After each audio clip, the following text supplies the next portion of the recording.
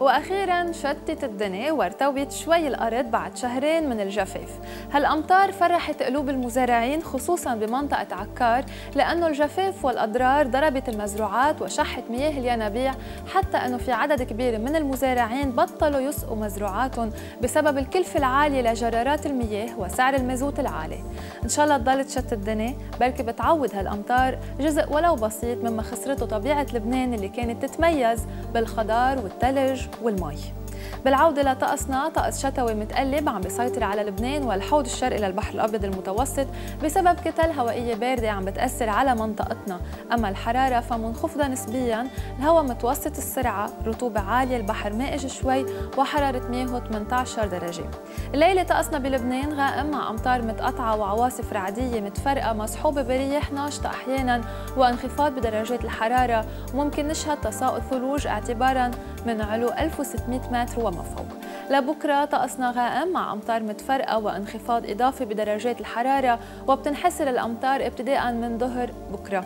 مجموع المتساقطات من أيلول لحد اليوم عم بيسجل 281 السنة الماضية 701 والمعدل عام 493 وبنبقى هلأ بجولة على درجات الحرارة اللي رح تسجل الليلة على الساحل.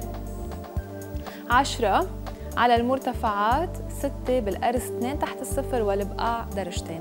وبنبقى هلأ بجولة على درجات الحرارة اللي رح تسجل لبكرة ببعض المناطق اللبنانية.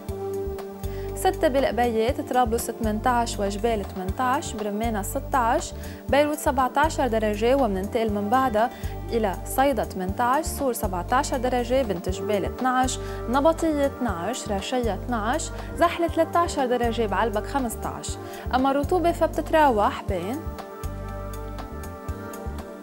55 و 90% حرارة سطح الماء 18 درجة وسرعة الرياح بين ال 10 وال 50 كم بالساعة. والرياح جنوبية غربية بتقوى ببعض الأحيان.